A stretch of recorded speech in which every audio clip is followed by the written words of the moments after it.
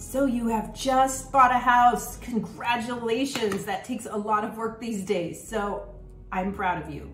Fantastic. So excited for you. And you're probably wondering, oh my gosh, what do I do?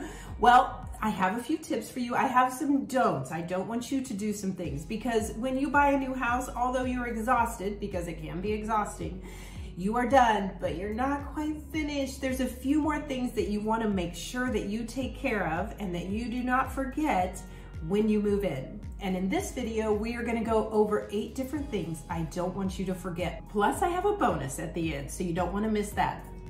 My name is Julie Spaulding. I sell real estate here in the Kansas City market and I do these videos to help you if you're moving to Kansas City and you're wondering where to live.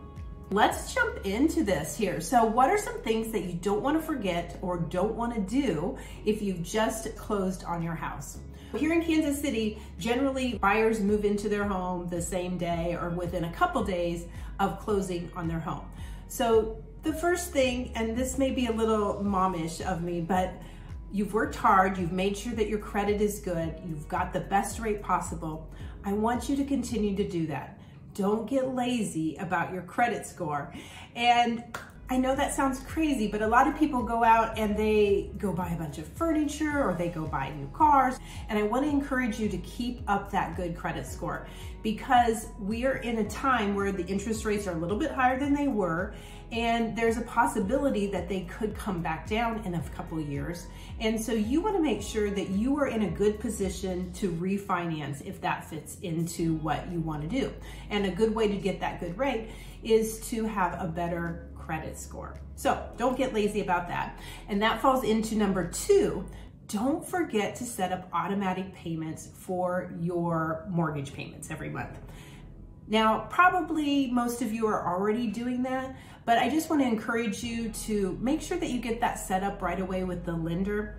And then also to be aware that sometimes lenders will sell your loan to another company. It's nothing bad, it happens all the time, but you wanna make sure that you get that change and make sure that you know that, that you're getting it to the right person. So go ahead and set up that online account. I think you'll be happy that you did. I know not a lot of people write checks, maybe just my mom, sorry mom, but go ahead and get that set up.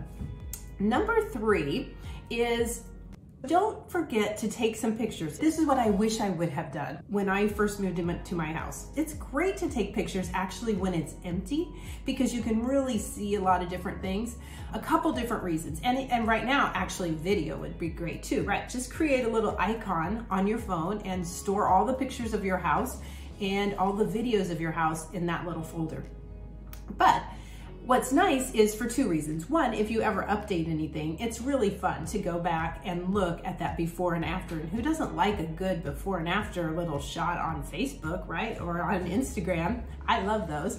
Another thing is, is sometimes people have needed it, hopefully you don't, for insurance purposes. So it's just nice to have that kind of documentation of what your house looks like when it's empty or before a project or before an insurance claim. So go ahead and do that. That's number three. Don't forget to kind of do some documentation. Do it on the outside too. It's great because a lot of people change up the landscaping. So it's good to have that documentation. Number four, and this probably goes without saying, but make sure that you change your locks. Now, it doesn't have to be changing them. You can actually have them rekeyed. I work a lot with Old Republic Home Warranty and that's one of the things that they offer. So you can actually have them rekeyed. You don't have to go out and buy all new locks. But sometimes the sellers have given keys to their neighbors or they've given keys to their friends or their family members who are coming over to take care of the dogs or stuff like generally nothing's going to happen but it's just a good idea. You feel maybe just a little bit safer knowing that you've rekeyed everything. You guys are the only ones or people that you know are the only ones that have a key to your house. Plus then a lot of times you can get them all the same right? Because sometimes the front door is different than the back door that's different than the garage door or in my house, I don't know where my garage door key is, so it'd be probably nice to have one of those too.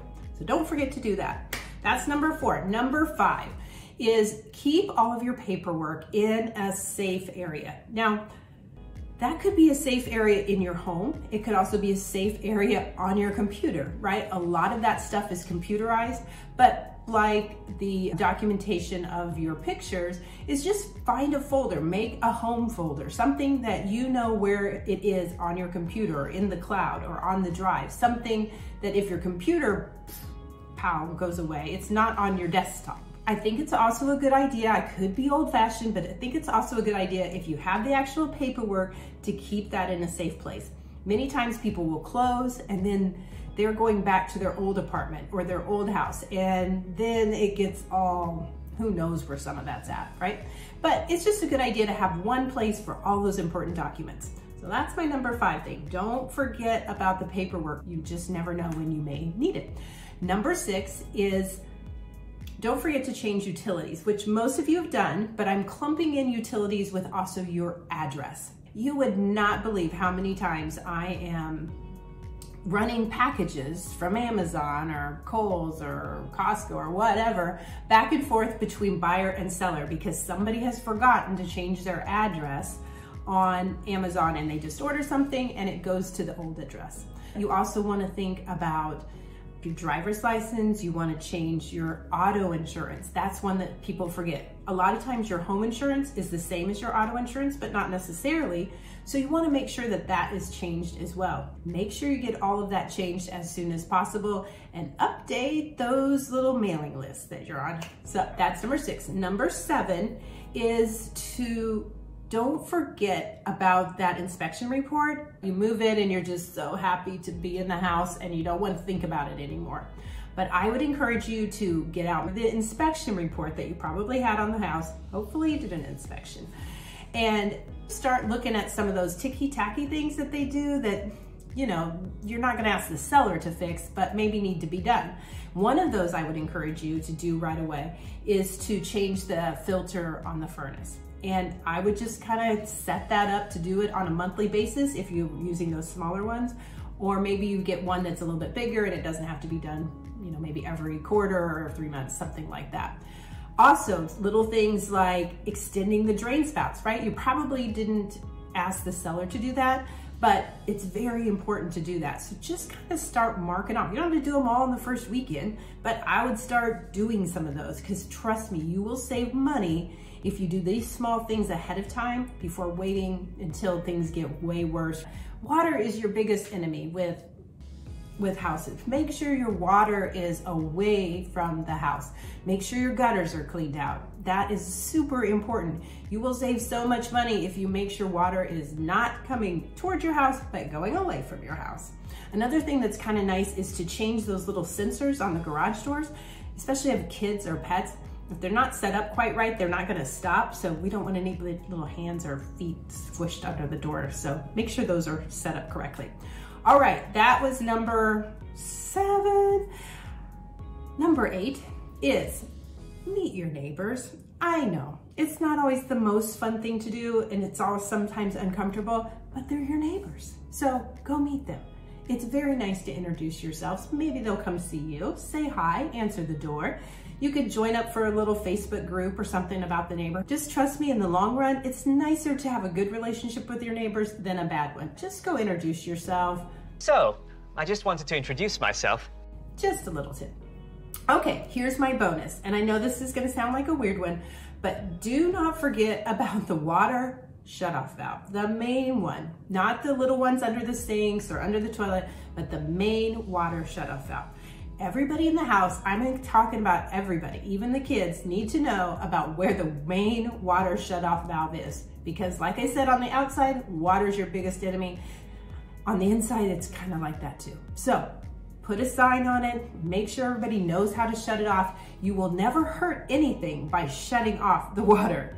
And trust me, there's gonna be a time maybe where the toilet overflows or the sink bursts or something happens and you need to know where that's at. You could always go up and shut it off underneath the sink, but I would go for the big main water one first. So those are my tips. I know there's a lot to think about when you move into a new home, but I would definitely take these eight things, nine actually, with the bonus, under consideration. Make sure that you like and subscribe to my channel because I will come back to you with several other good tips. And I can help those of you who are wanting to buy or to sell here in the Kansas City market. And remember, you deserve to love where you live.